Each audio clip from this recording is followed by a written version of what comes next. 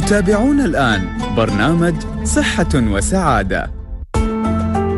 للمشاركة في البرنامج يرجى الاتصال على الرقم 600 55 14 14 أو عبر الرسائل النصية القصيرة SMS 4006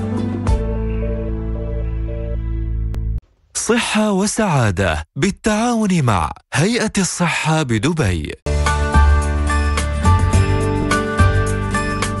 بسم الله الرحمن الرحيم والصلاة والسلام على أشرف المرسلين سيدنا محمد وعلى آله وصحبه أجمعين. اللهم اشرح لي صدري ويسر لي أمري واحلل عقدة من لساني يفقه قولي. السلام عليكم ورحمة الله وبركاته أعزائي المستمعين وأسعد الله أوقاتكم بكل خير. وحياكم الله معنا في حلقة جديدة من برنامجكم صحة وسعادة. صحة وسعادة برنامج تقدمه لكم هيئة الصحة بدبي بالتعاون مع مؤسسة دبي للإعلام وبالشراكة مع مستشفى الزهراء وعبر إذاعتكم المميزة دائما إذاعة نور دبي. إذا هذا البرنامج آه، تفتح الهيئة من خلاله الأبواب والنوافذ لاستقبال ملاحظاتكم اقتراحاتكم آرائكم كل ما من شأنه أن يساهم في دعم وتطوير القطاع الصحي آه، في إمارة دبي وفي دولة الإمارات العربية المتحدة بشكل عام. إذا هذه أطيب التحيات مني محدثكم محمود يوسف العلي. من خلف الميكروفون وفي الإخراج معنا ناصر محمد سليم وفي التنسيق معنا شيمة تناك وعندنا حمدة حمدة ذكرين حمدة حسن؟ لا مو حمده حسن حمدة حسن مذيعتنا.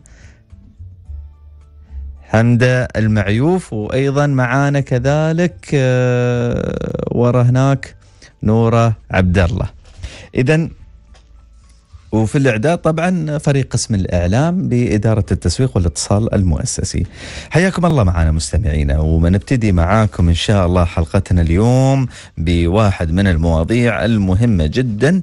آه لكن قبل قبل هذا خلونا نذكركم بس بأهم الشغلات عندنا. موعد التأمين الصحي التمديد ماله راح ينتهي. يا جماعة الخير مع نهاية هذا الشهر يعني آخر يوم لعدم فرض الغرامات 31 12 بعد 31 12 في مخالفات على عدم تأمين العمالة المنزلية عندكم. فأرجوكم توجهوا من اليوم ما في داعي تتريون له 31 12 يا جماعة الخير ترى الواحد ما يعرف شو ممكن يصير وياه. فأنصحكم تتوجهون من اليوم على أساس تبتدون عملية تأمين العمالة المنزلية عندكم. والموضوع بسيط جدا والجماعة ما شاء الله عليهم وفروا حلول كبيرة في هذا المجال. أيضا مستمعينا معالي حميد محمد القطامي رئيس مجلس الإدارة المدير العام لهيئة الصحة بدبي سيقوم آه يعني بعد قليل بافتتاح مؤتمر الطوارئ. وتدشين التوسعة الجديدة لمركز الجوز لفحوصات اللياقة الطبية. هذا طبعا ضمن الجهود المستمرة التي تقوم بها هيئة الصحة بدبي للاستجابة السريعة للاحتياجات المتزايدة للمتعاملين في هذا المجال. مراكز اللياقة الطبية يعني في هيئة الصحة مراكز متطورة جدا. مراكز تقدم خدمات كبيرة. ما نتعرف على هذه الخدمات ما نتعرف على آه هذه التوسعات الجديدة وأهميتها آه لإمارة دبي بشكل خاص وأيضا الخدمات اللي تقدمها هيئة الصحة في هذا المجال مع الأستاذة ميسا البستاني مدير إدارة خدمات اللياقة الطبية في هيئة الصحة بدبي. صبحك الله بالخير أختي ميسا. ألو؟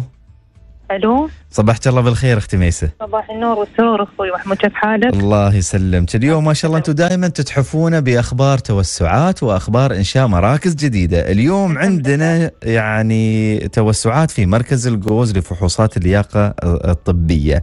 أنا نعم. يعني قبل لا أدخل في مواضيع الخدمات اللي أنتم تقدمونها وكل الأشياء خلينا أبتدي بالموضوع الرئيسي اللي هو هذه التوسعات. حدثينا عن عن التوسعات الجديدة ودورها في تسهيل وتسريع تقديم الخدمة للمتعاملين. بإذن الله تعالى اليوم بيكون في افتتاح توسعة مركز هجوم التوسعة تقريبا مساحته 17 ألف قدم مربع تضاف إلى المساحة الحالية. بيكون المركز تقريبا 22 ألف قدم مربع. التوسعة الجديدة هي عبارة عن قاعات آه، للمتعاملين أو المراجعين من فئة آه، العاملين في المنازل. آه، خصصنا لهم أماكن معينة بالإضافة إلى خدمات العاجلة اللي هي ال 24 ساعة وال 48 ساعة والأربع ساعات. طبعا التوسعة من شأنها استقبال أعداد أكبر من المتعاملين وبانسيابية وتخفيف أوقات الانتظار وطبعا الوصول إلى سعادة المتعاملين خاصة في المناطق اللي فيها يعني زيادة في عدد السكان. جميل. أه تقريبا كم كم المساحة ذكرتيها أختي ميسه المساحة الجديدة؟ المساحة الجديدة هاي التوسعة عبارة عن تقريبا 17000 قدم مربع. مساحة كبيرة والله. هنا مساحة كبيرة.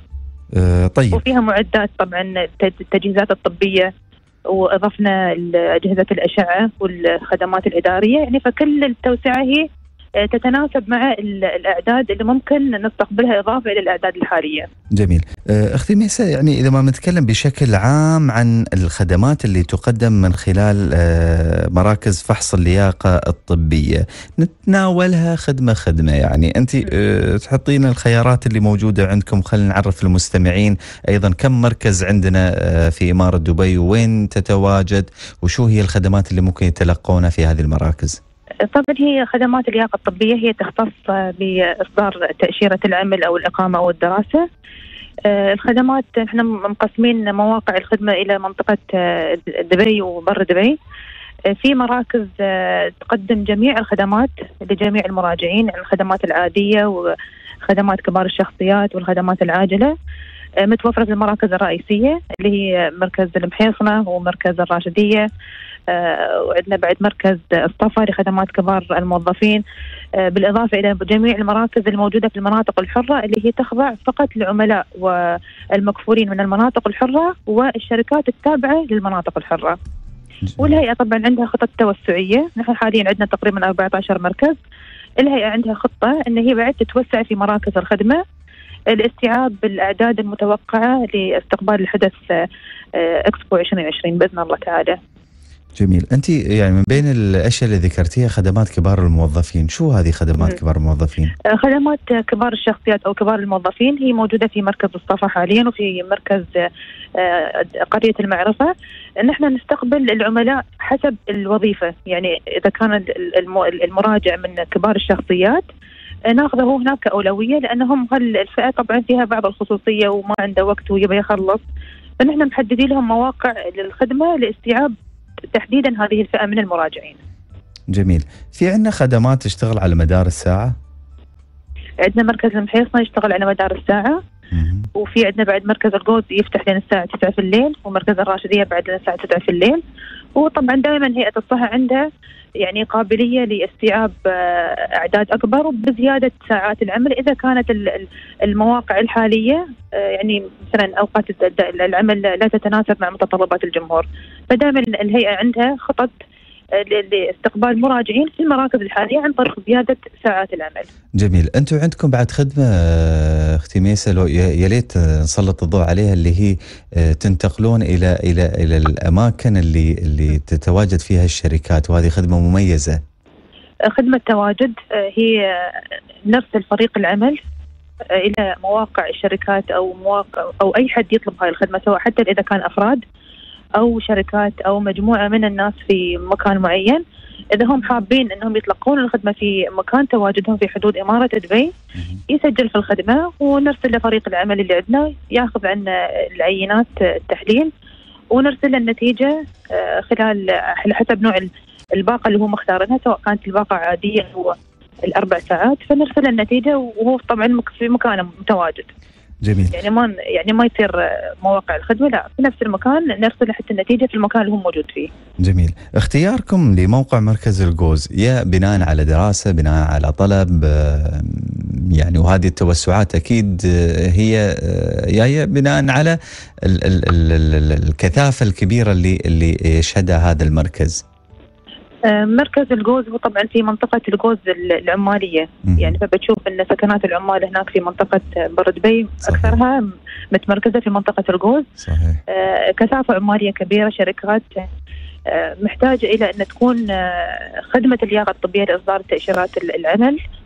تكون موجودة قريبة من أماكن تواجد المباني. على أساس إن الشركات بعد تكون لها قيمة مضافة من وجود مركز خدمي. يعني يتناسب مع أماكن سكن العمال.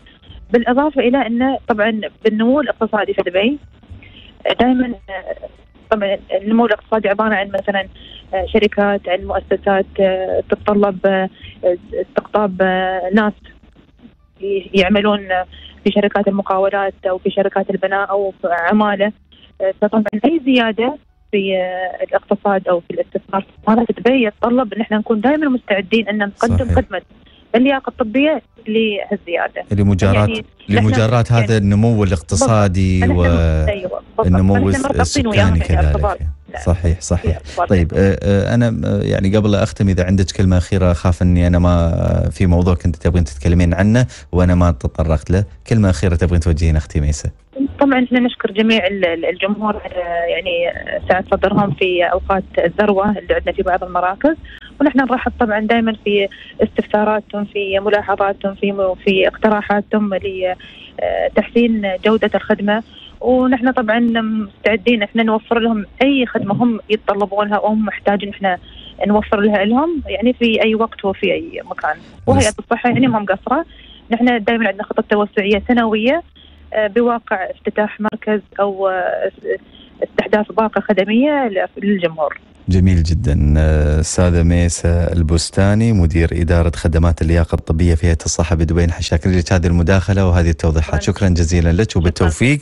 اذا مثل ما خبرناكم مستمعينا اليوم آه، معالي آه، رئيس مجلس الإدارة معالي حميد آه، محمد القطامي المدير العام لهيئة الصحة بدبي. سيقوم بإذن الله بتدشين التوسعة الجديدة لمركز الجوز لفحوصات اللياقة الطبية. وهذا مثل ما ذكرنا ضمن الجهود المستمرة التي تقوم بها هيئة الصحة بدبي للاستجابة السريعة للاحتياجات المتزايدة للمتعاملين في هذا المجال وأيضا مواكبة للأحداث والنمو الاقتصادي والسكاني لإمارة دبي. فاصل مستمعينا لأن ناصر محمد سليم بيعصب علينا فنطلع فاصل وما نرجع لكم. صحة وسعادة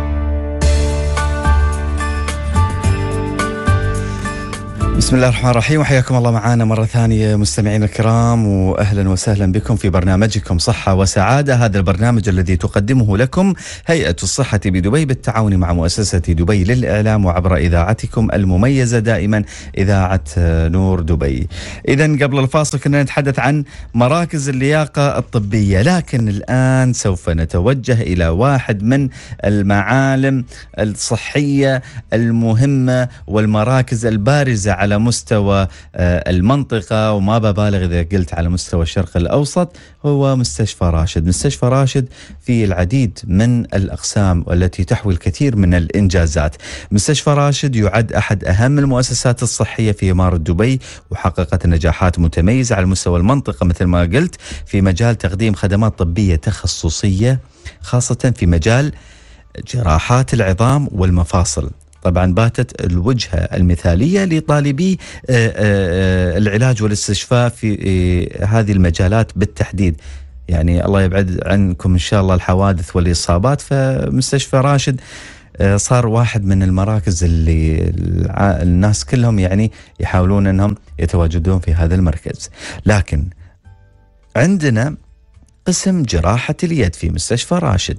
الأطباء اللي موجودين في هذا القسم تمكنوا خلال الأسبوع الماضي من إعادة صبع مبتور بالكامل لمريضة من الجنسية الآسيوية في العقد الثالث من العمر. لا وفوق هذا ترميم إصبعين آخرين أصيبا كذلك بتهتك حاد في الأنسجة بسبب سوء استخدامها للألعاب النارية.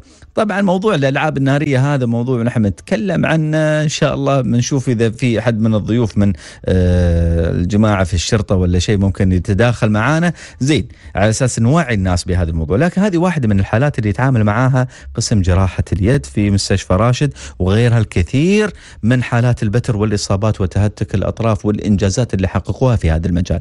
طيب الآن أنا بسلط الضوء على هذا الموضوع. بتكلم عن هذه الحالة وبتكلم أيضا عن الإنجازات اللي تحققت في هذا القسم مع الدكتور خالد العوضي. الدكتور خالد العوضي هو استشاري ورئيس قسم جراحة اليد في مستشفى دبي. صبحك الله بالخير دكتور. الله يصبحك بالخير أخوي. دكتور يعني الآن تعرف شو الواحد آه، ما كان يتخيل إنه ممكن قطعة من جسمه نعم. تنقطع ويردون يركبوا لي إياه مرة ثانية. تماما صبع كامل مبتور تماما وركبتوا لي هذه المريضة. أول شيء خبرنا عن الحالة كيف وصلت لكم شو هي الحالة بالضبط وكيف قدرتوا إنكم أنتم تعالجونها. نعم المريضة مثل ما قلت هي من الجنسية الآسيوية في العقد الثالث من عمرها. كان عندهم آه، مناسبة آه، اجتماعية دينية آه، في بلادهم ويسوونها في الإمارات عندنا. آه، كانوا يلعبون بالمفرقعات الألعاب النارية. ديوالي ما أدري شو يسمونها. بالضبط. آه، فكانت آه، بالصدفة كانت موجودة في المناسبة هذه وحط حطة ال- المفرقعة في إيدها وقال لها إرمي. وهي تفاجأت بالموضوع وقبل ما ترمي انفجر المفرقعة في إيدها. حول. فمع الأسف آه، كان ال- الإصابة شديدة جدا كان تهتك شديد في إصبع الإبهام. آه، الأنسجة كلها كانت مقطوعة الأعصاب والشرايين. فقدت آه، جزء كبير من أنسجة الإصبع الثالث والرابع. آه، العظم كان كامل مكشوف آه، الشرايين والأعصاب فقدت منها الإصبعين. فطبعا إحنا يعني الأولوية عندنا إن ننقذ إصبع الإبهام. فوصلتنا المريضة آه، في اليوم الف... آه، صار فيها الإصابة على الساعة 11 بالليل. اتصلوا بينا من قسم الطوارئ. طبعا آه، الإصابات هذه تعتبر إصابات بليغة. بليغة ولازم تدخل. تدخل فيها مباشرة. ما نقدر نخلي المريض اليوم الثاني. صحيح. نظفنا الجرح. وأول ما وصلنا المستشفى نظفنا الجرح وغسلنا. حددنا الأنسجة المتهتكة. طبعا كل العضلات اللي كانت في إصبعها آه، تهتكت. الأعصاب آه، انخلعت من آه، المصدر ماله الشرايين. آه، مو فقط انقطعت لكن آه، جزء منها آه، فقدت. فاحنا آه، ثبتنا العظم آه، صلحنا الأوتار آه، زرعنا العصب مرة ثانية وأخذنا شريان من مكان ثاني وزرعناه للأصبع هذا وسكرنا الجرح بطريقة بحيث إنه ما يضغط على الأنسجة الموجودة تحتها. وسبحان الله الحمد لله آه، الأصبع وصل للدم. آه، حطيناها تحت المراقبة ال- الفائقة بحيث إن نتابعها كل ساعة. إذا صار لا سمح الله إن الدم توقف في إصبعها نجيبها مرة ثانية للعمليات.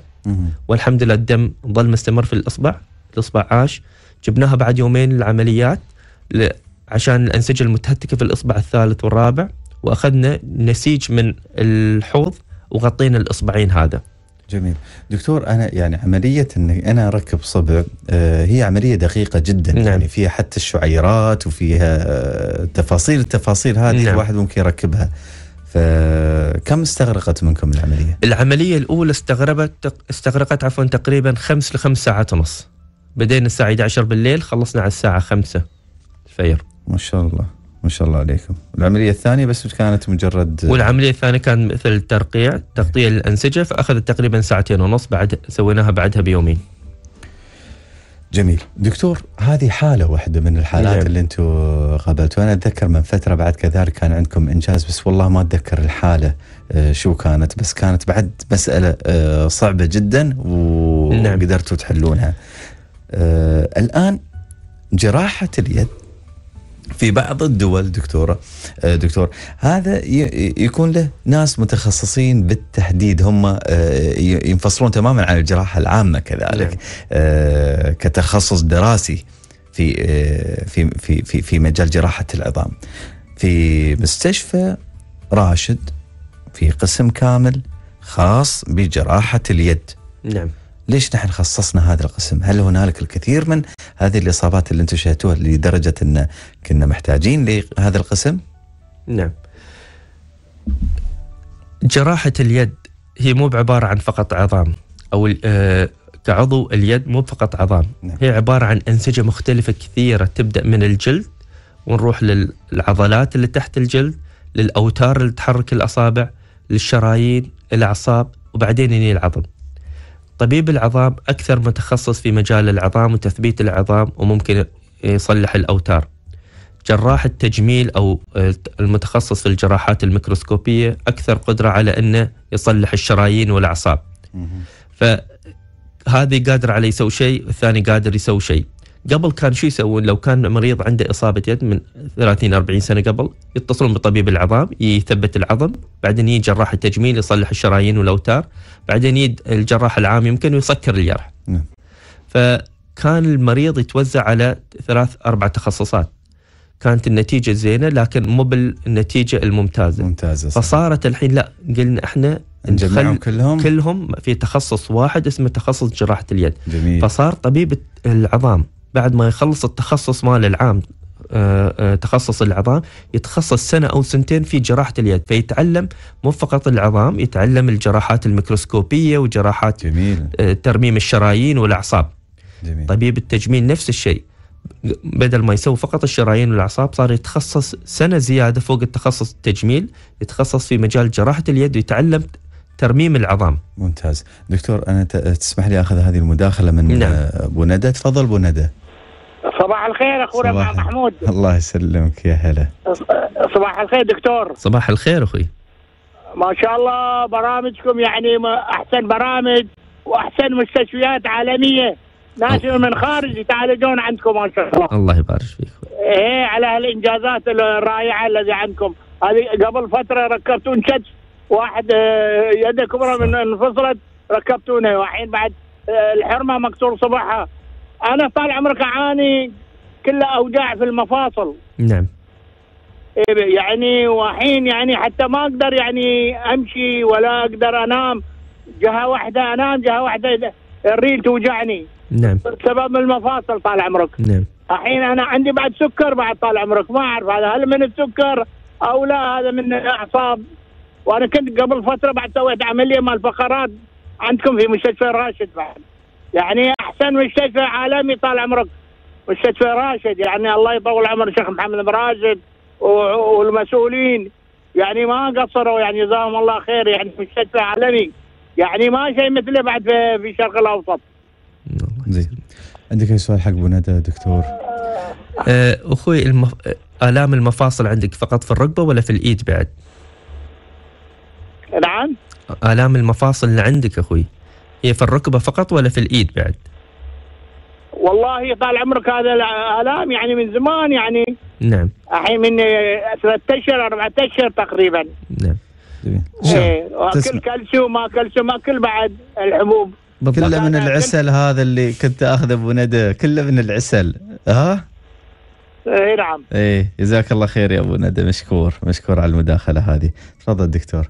نعم. آه، آلام المفاصل تكون أسبابها كثيرة. آه، منها التقدم في العمر آه، الاستعمال آه، الزايد المفاصل هذه عدم مراعاة الوزن الزايد صحيح. كلها تأثر. خاصة أن ابو أبو ندى أيضا يعاني من السكر من. السكر بالضبط. صحيح.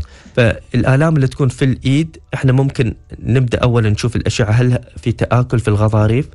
الواحد ممكن يبدأ بالعلاج الطبيعي لو الغضاريف مو متآكلة ممكن نحقن كورتيزون ممكن نحقن صفائح الدموية تساعد على أن تخفف الآلام. صحيح. وفي علاجات اللي هي نقل المفاصل. إحنا ممكن نسوي هذا بعد للمرضى. جميل. نحن آه، بنتخصص مرة ثانية في جراحة اليد وبنرجع لهذا الموضوع نعم. دكتور بس بعد ما نوقف مع فاصل قصير مستمعينا للتواصل معنا على الأرقام 600 551 أو عن طريق الرسائل النصية على 4006 فاصل وراجعين.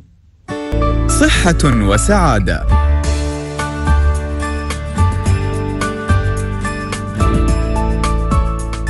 سعد الله أوقاتكم مرة أخرى مستمعينا الكرام حياكم الله معانا في برنامجكم صحة وسعادة. هذا البرنامج الذي تقدمه لكم هيئة الصحة بدبي بالتعاون مع مؤسسة دبي للإعلام وعبر إذاعتكم المميزة دائما إذاعة نور دبي.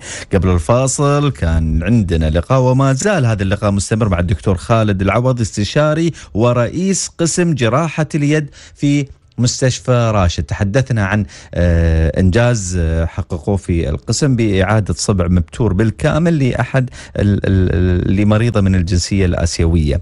أيضا تكلمنا عن آه، تخصص جراحة ال- اليد دكتور. ونتكلم الآن حقيقة عن العديد من ال- ال- العمليات اللي تقومون فيها. لديكم في قسم جراحة اليد أيضا تقنيات متطورة جدا للتعامل مع العمليات الدقيقة مثل أجهزة المايكرو آه، الميكروسكوب ومناظير المفاصل.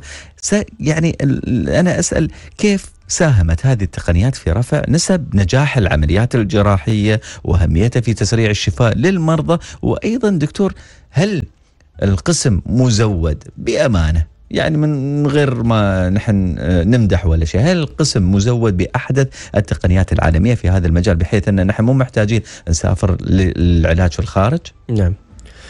نعم. اولا أ، نتكلم عن قسم أ، قسم جراحة اليد بدا من 2013 نعم. كان أ، يعني نظرا من الإدارة شافوا إن عدد المرضى كثير ومحتاج إن ناخذ التخصص هذا الخطوه أ، المستقبل نعم. آه، كان جراحة اليد قبل ما كان آه، تيم آه، يجونا مرضى إصابات اليد كان الطبيب العظام يسوي جزء من العملية طبيب الشرايين يسوي جزء من العملية والتجميل يسوي جزء ثاني من العملية. نعم. فقالوا لا إن المريض جالس يتشتت ما بين التخصصات هذه. خلينا نسوي قسم واحد متخصص فقط في هالمجال. فبدينا هالقسم من 2013 جمعنا الدكاترة اللي عندهم الرغبة والتخصص في هالمجال وضميناهم في قسم واحد. صرنا نقدم الخدمات بصورة أسرع. الإصابات هذه كل ما أنت تعالجها في ساعات بدل أيام تعطيك نتيجة أحسن. من المشاكل اللي تواجه المريض ال- آه، آه، إصابة اليد أنه يصير عندهم تليف في الأنسجة والمفاصل يصير الحركة حتى بعد العملية تصير الحركة الصعبة. نعم. كل ما تسرع في العملية كل ما تكون نتيجة أحسن والوظيفة استرجاع الوظيفة يكون أفضل. صحيح. فهذا اللي إحنا قدرنا نتمكن منه خلال هالمدة. قسم جراحة اليد بدأ 2013 بدكتورين صرنا الحين سبعة دكاترة. ما شاء الله. عدد العمليات اللي إحنا نسوي 2015 وصلنا بأكثر من 1500 عملية فقط في جراحة اليد. ما شاء الله تبارك صار الرحمن. أكثر رابع أك- أكثر قسم مزدحم في مستشفى راشد من عدد العمليات.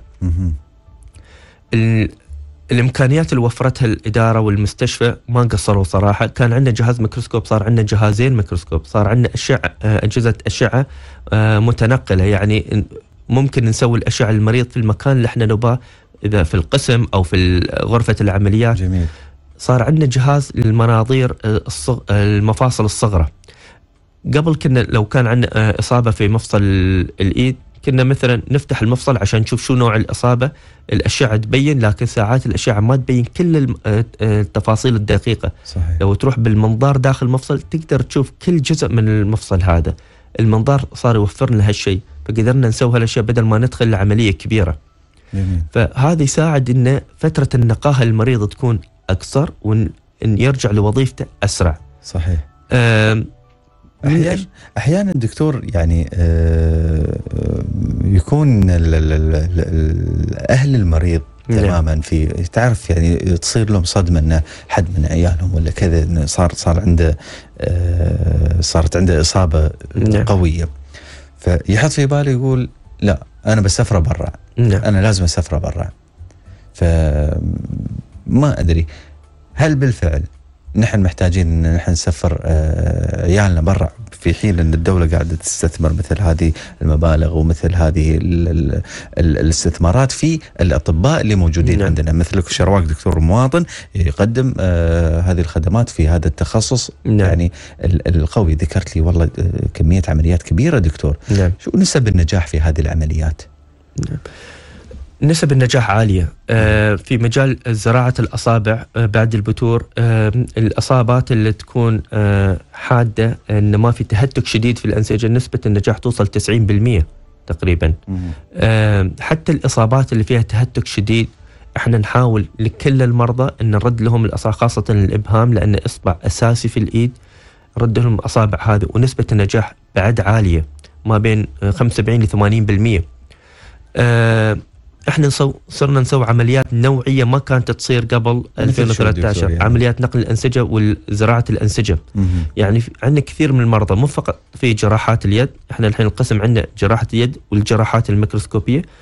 فصرنا نسوي عمليات نقل الأنسجة للاطراف الثانية مثلا المريض اللي عنده تهتك شديد في الأنسجة بعد الكسر في ريلة مهم. نزرع له أنسجة من الظهر ناخذ نسيج مع الشريان ماله ونزرع له ونغطي. اليرح ممتاز قبل المريض كان يقعد آه، بعد ما الكسور عنده آه، تتثبت ويحطون له آه، غيارات عشان تنشط الأنسجة فيبدأ يتكون اللحم الأحمر وبعدين يغطون اليرح كانت العملية هذه تاخذ يمكن شهر لشهرين لحد ما اليرح يتغطى. لا الحين بالعمليات الميكروسكوبية هذه ناخذ نسيج من الظهر ونغطي اليرح خلال أسبوعين المريض يكون طالع من المستشفى. جميل. أنا دكتور ليش أسأل هذه الأسئلة؟ لأن بالفعل أبغي أسلط الضوء على المجهود الكبير اللي أنتم تقومون فيه في مستشفى راشد وحتى في مستشفيات الهيئة ككل لأن آه، هنالك يعني آه، مجهودات كبيرة يقومون بها هؤلاء الأطباء. يحاولون قدر الإمكان أنهم آه، يوجدون الحلول المناسبة لسرعة استشفاء المرضى. أيضا دكتور يعني اللهم لك الحمد سمعت مستشفى راشد الآن سمعة قوية جدا في آه، في مجال مركز الإصابات والحوادث اللي آه، يستقبل يعني أكثر من 450 حالة طارئة من مختلف إمارات الدولة. إذا آه، إذا ما تحدثنا عن استقبال الحالات، بعض هذه الحالات تكون خطيرة جدا دكتور. آه، أبغى أتكلم الآن يعني كيف أنتم كأطباء تتعاملون مع هذه الحالات؟ وهل هنالك في فرق طبية؟ آه، أنت ذكرت أن هنالك بعض التعاون ما بين ال- الأقسام طبعاً. لكن في مثل الحالة اللي ذكرناها في بداية الحلقة الساعة 11 يابوكم كلكم. نعم. إنزين واستمرت لين الساعة 5 الفجر قلت لي. نعم. آه، أبغى أعرف هذا التعاون اللي يتم ما بينكم. أحيانا في إصابات تكون في أكثر من من اليد من الرجل. نعم. آه، الواحد ما يعرف وين آه، ممكن تكون الإصابة. فأبغى أتكلم أعرف الناس عن طبيعة العمل في مركز الإصابات والحوادث. نعم. مركز الحوادث عندنا في مستشفى من أفضل المراكز الموجودة في المنطقة. لا شك. آه إحنا عندنا شيء اسمه polytrauma team أو آه فريق للإصابات الكبيرة. إيه. الفريق هذا متكون من آه، جراحي العظام الجراحي العامي الجراحة العامة الشرايين الأعصاب. يجينا حالة عنده إصابة آه، متعددة في أنسجة مختلفة من الجسم. ال team هذا كله يجتمع ويفحص المريض فحص كامل ويشوف شو الإصابات. عندنا ال life قبل كل شيء الحياة قبل المريض صحيح. قبل كل شيء. فحياة المريض أهم شيء. أهم شيء. فهذا أول شيء إحنا آه، نهتم به.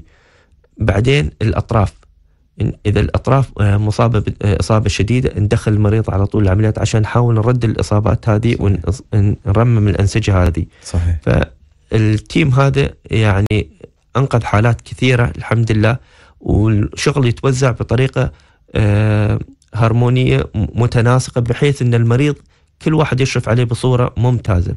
أنا بس كنت بضيف نقطة بالنسبة للعلاج في الخارج. نعم.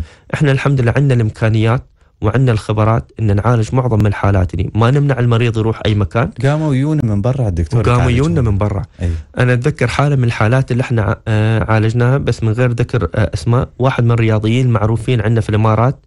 كان صارت له إصابة دراجة وعنده كان تهتك شديد في انسجه الإيد والعظم.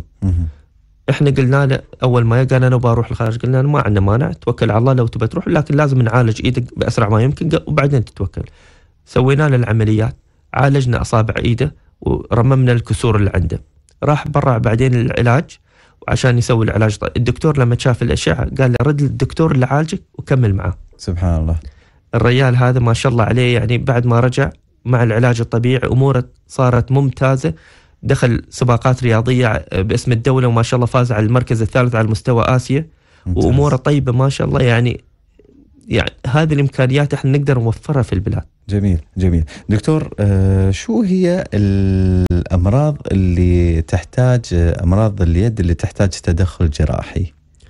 كثير من الإصابات اللي تصير في الإيد أو الأمراض اللي تصير مثل تليف المفاصل، آه، الروماتيزم، آه، خشونة المفاصل، إحنا نقدر ندخل فيها غير جراحية إجراءات غير جراحية وعمليات جراحية. ممكن حقن كورتيزون والبلازما ممكن نحقن في المفاصل عشان نخفف الآلام ونرجع الليونة في المفاصل. وإذا المفاصل كانت فيها خشونة آه، آه، متقدمة نسميها ممكن إحنا نغير المفاصل هذه ونسوي تبديل المفاصل. من الأشياء اللي تصير في الإيد الأورام وفي أورام حميدة وأورام خبيثة وكلنا نقدر نعالجها. في حد يسأل عن شلل الضفيرة العضيدية للأطفال؟ عندك فكرة عن هذا الموضوع دكتور؟ نعم. في آه، أعصاب كثيرة في الإيد تصير آه، آه، عندهم شلل أو ضعف في الأعصاب هذه بسبب تهتك في الأعصاب. إذا قد تكون بسبب إصابة أو أثناء الولادة. فنسميه brachial plexus palsy ف لو صارت أثناء الولادة إحنا نشوف المريض ونتابع لمدة ثلاثة أشهر هل في تحسن؟ معظم الأعصاب هذه تتحسن مع الوقت. لكن لو ما في تحسن نتدخل جراحيا. في عمليات نقل الأعصاب في عمليات نقل الأوتار. إذا كان جزء من الأوت... الأعصاب هذه تالفة والأعصاب الثانية سليمة فننقل أوتار للمرضى هذول. في عمليات كثير ممكن نصلح بها الوظيفة. أنا سمعت يعني أه، عن عمليات تجميل دكتور يسوونها في الوجه يسوونها في البطن نعم. أه، في بعض أجزاء الجسم لكن في الإيد في حد يسوي عملية أه، تجميل في الإيد؟ نعم. مثل ما قلت أنسجة الإيد أنسجة مختلفة من اليد للعظم. ساعات كثير ناس عندهم آه، تصبغات في الجلد. إحنا ممكن نعالج هذه عن طريق الليزر. في عندهم آه، آه، ضمور في الأنسجة ال- فقدان الشحم مع العمر فتصير العروج والأوتار واضحة ممكن نحقن فيلر في هالأشياء. فهذه الأشياء التجميلية الواحد ممكن يسوى في الإيد طيب في أه، سؤال يقول هل في أوتار في اليد يمكن أن نستغني عن وظيفتها؟ الله خلق كل شيء له وظيفة بس في وظائف مهمة وفي وظائف ممكن الواحد يستغني عنها. ففي ناس عندهم مثلا شلل في الأطراف وفقدوا في الح- الحركة بسبب ضمور الأعصاب. نعم. فممكن ننقل أوتار تسوي وظيفة معينة لوظيفة ثانية. جميل. دكتور آه، أنا يعني آه، ما أملك إلا أني أتوجه بالشكر الجزيل لك. آه، في نفس السؤال شو أبى أسأل عن شلل الضفيرة العضيدية للأطفال شو نسبة النجاح للعمليات لها؟ الدكتور جاوب على هذا السؤال. آه، دكتور خالد العوضي استشاري ورئيس قسم جراحة اليد في مستشفى راشد. نحن شاكرين لك هذا التواجد وإن شاء الله ما تقطعنا. إن شاء الله نشوفك دائما دكتور. الله يبارك فيكم. مشكورين على هذا الاستضافة والبرنامج الطيب. جزاك الله خير آه، دكتور خالد. وأيضا كنا نتحدث مع الدكتور خالد عن آه، آه، مركز راشد للإصابات والحوادث. نحن نتوجه مستمعينا إلى مؤتمر مؤتمر خاص بالطب الطوارئ هذا اللي تنظمه جمعية الإمارات الطبية وبدعم من هيئة الصحة بدبي وبمشاركة أكثر من 1200 طبيب ومتخصص من مختلف دول العالم. زميلنا يوسف سعد موجود هناك صبحك الله بالخير يوسف. صباح الخير محمود صباح الخير أعزائي المستمعين. آه، محمود أنا متواجد حاليا في فندق ال InterContinental Festival City آه، قبل قليل معالي حميد القطامي رئيس مجلس الإدارة المدير العام لهيئه الصحه بدبي افتتح الدورة الثالثة لمؤتمر طب الطوارئ. المؤتمر كما ذكرت محمود آه، يشهد حضور مكثف آه، أكثر من 1200 آه، مشارك وأكثر من 80 محاضر بخلاف ورش العمل 11 ورشة. خلال الافتتاح محمود معالي القطامي يأكد على إن آه، دولة الإمارات آه، آه، بتولي آه، طب الطوارئ بشكل خاص اهتماما بالغ وإن آه، أقسام الطوارئ في جميع مستشفياتنا مزودة بأحدث وأفضل الأجهزة والتقنيات اللي بيقوم عليها كمان نخب من الأطباء المتخصصين آه، ال- الذين يمتلكون قدرات فائقه آه، للتعامل مع أي ظروف وأي أحداث. آه، معاليه برضو اكد آه، إن آه، أطباء قسم الطوارئ وجميع العاملين آه، بيتفانون في آه، أداء رسالتهم المتصلة آه، أو شديدة الصلة بأرواح الناس وإنقاذ أرواحهم والحفاظ على آه، حياتهم. آه، معاليه اكد آه، أيضا أن آه، دبي على وجه التحديد وهيئة الصحة آه، تضع في خطتها الاستراتيجية استراتيجية التطوير آه، طب آه، الطوارئ وتطويره وتطوير أقسامه في جميع مستشفياتنا ومراكزنا في صدارة أعمال التطوير. جميل. طيب يوسف المؤتمر هل يصاحبه معرض آه هناك آه في فعلا في معرض حوالي 20 شركة متواجدة هنا محمود بتستعرض آه، آه، مختلف التجهيزات وأحدث المستلزمات الطبية المستخدمة في أقسام طب الطوارئ. اطلعت على أوراق العمل آه، يوسف المواضيع اللي سوف تطرح خلال المؤتمر إذا إذا اسعفك الوقت هناك؟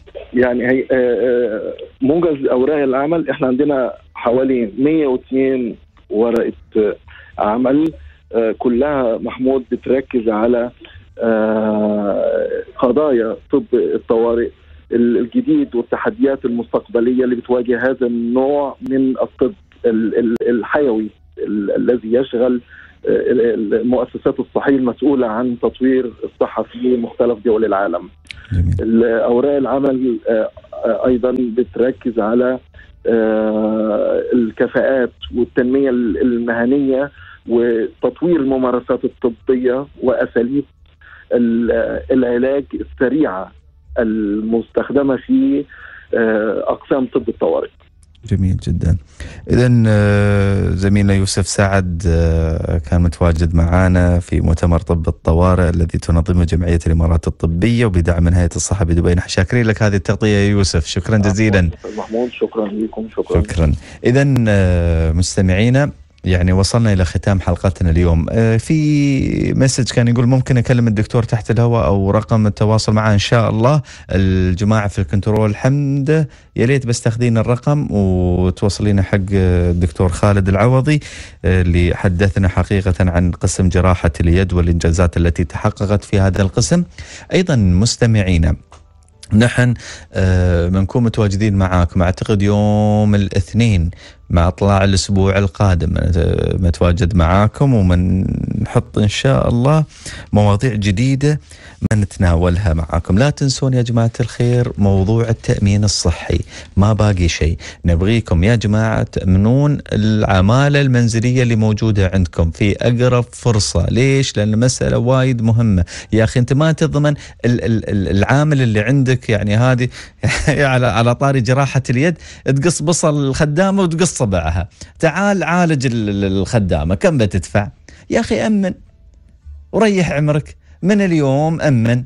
ما تعرف يمكن آه، باكر أي حادثة تصير لا سمح الله وتضطر إنك تدفع، شفنا وايد قصص في هذا المجال، شفنا وايد آه، ناس استفادوا من التأمين وفي ناس تضرروا من مسألة عدم التأمين، فما آه، باقي شيء؟ خلاص بعد يعني على بداية السنة الجديدة واحد واحد مخالفات ما امنت بتخالف ماشي ولكن أنت بالقانون ملزوم أنك أنت تعالج العمالة المنزلية الموجوده الموجودة عندك. عموما اللي يبغى يتعرف على تفاصيل التأمين ممكن يتواصل مع آه، الجماعة آه، في هيئة الصحة على الرقم 8342 8342 بيعطونكم تفاصيل أكثر عن الشركات اللي تقدم هذه الباقات التأمينية. وصلنا لختام حلقتنا اليوم. كل الشكر لزملائي اللي موجودين معي في الاستوديو شيماء التناك حمد المعيوف ونورة نورة آه، المدني صح؟ نور المدني وأيضا آه، ناصر محمد سليم في الإخراج. وهذه تحياتي محدثكم محمود يوسف العلي وحتى نلقاكم إن شاء الله مطلع الأسبوع القادم يوم الاثنين. نتمنى لكم إجازة سعيدة جدا وطويلة يعني ويكند طويل. ومشكور يا ميثة على دعمك الدايم لنا. ودمتم بصحة وسعادة. صحة وسعادة بالتعاون مع هيئة الصحة بدبي.